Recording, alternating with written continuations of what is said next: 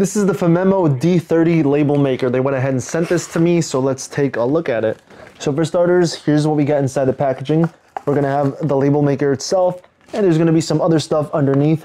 Right here, we're gonna have the user manual, and all the way at the bottom is gonna be this uh, micro USB to USB-A cable. I also did receive these two packagings, and this is gonna be the paper itself. And now right here, we're gonna have the label maker. This is gonna be the white model, and so far I just see there's gonna be one button in the middle. There's also gonna be like an LED light here, and a screen right in the center with this plastic film that comes right off. And I can go ahead and lift this, and there already is some paper that comes included in here. And then on top, this is where the label uh, shoots out from. And there's gonna be nothing on this side, nothing on this side, and at the back side, we're just gonna have one strap for a lanyard if you wanna go ahead and put it, and then also the charging port. So it's now time to set this up, and the first thing to do is just to open up the cover, and then take this piece out, and then we can just go ahead and get to the black part and just open it up, and this can be removed. And now with the sticker facing towards the left side, this is gonna be inserted like this, and this can be pulled right up through here, and then close the cover, and now hold the button for three seconds to go ahead and turn it on.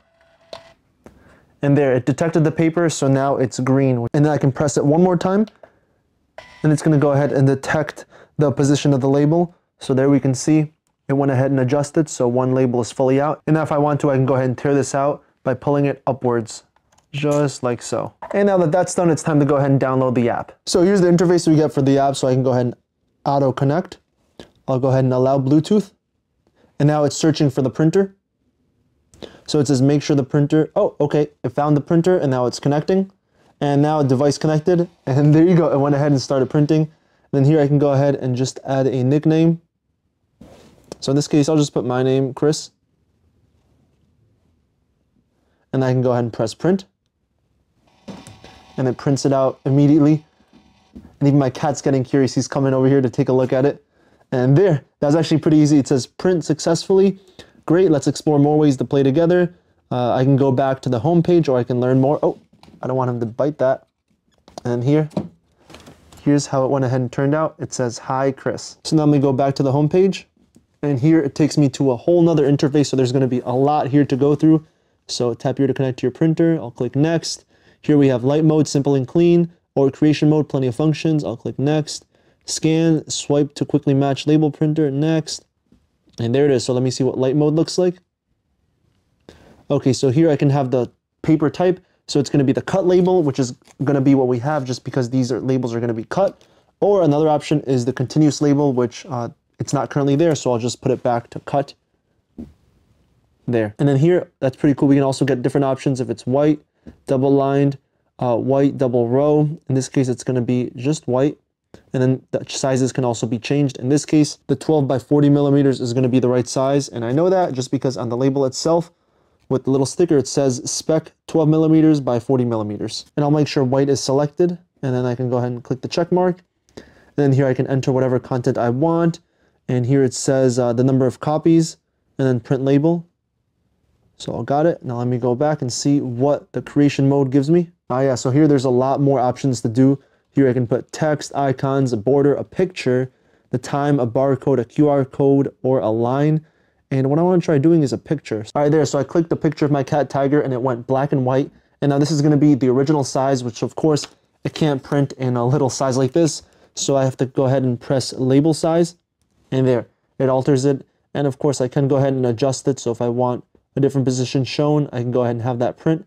In this case, I want to go ahead and print his eyes. And when I let go there, just that'll go ahead and show up. And let's see at the bottom, there's also different options. Uh, I can go ahead and cancel this completely. Uh, I can cut it, which I already did, uh, or I can change the filter. So right here, this is gonna be standard. There's also 256 grayscale. Oh, that looks a little bit uh, less uh, distorted. And there's also gonna be black and white. Oh yeah, that's, that's far too much. So let me go, actually, let me go for the standard. It looks kind of pixelated. It kind of reminds me a little bit more of art. So I'll check that. And there. And over here, I can kind of adjust it where I want it to be printed. And to increase the size of this, I can go ahead and drag this a little bit more. So I want it to take up like the whole printable space of the label. And just like that. And I'll go ahead and press print label and then I'll print now.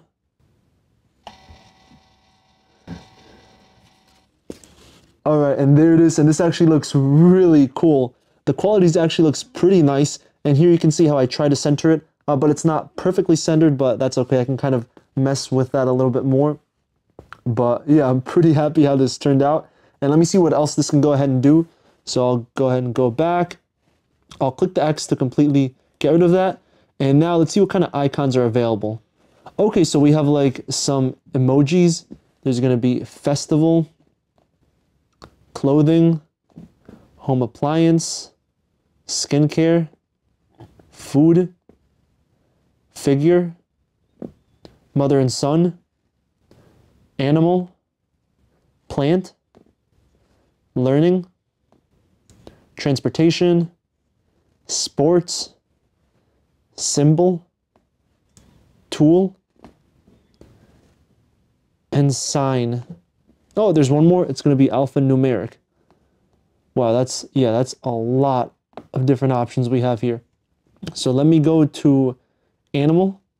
Let me see if it has, oh yeah, there's still a lot more options available here. I can keep scrolling and scrolling. Yeah, there's a ton. And let me see if I can find a cat. Oh, I found a cat here. And I can increase the size of this. There, and I can also double tap and type tiger. Tiger the cat. And of course, because uh, this is kind of blocking it, I can go ahead and adjust it. Just like that. And let's see what else I can do. I can also put the time. Okay, yeah, I can put the time down over here if I want. I'll exit out of that. There can be a barcode, QR code, a line. And there's actually even more stuff on the right side. So it says shape, XL, scan, table, uh, QCR, and a voice recording. How does this work? All right, I'll allow. Hello, this is Tiger. So the voice recording worked well, and here I can have it as text, a barcode, or a QR code. And here it kind of shows up. Let me go ahead and exit out of that. And yeah, that's everything I could do there. And I can also mess with the label settings again. And uh, I'll go ahead and print this as well too. And then print.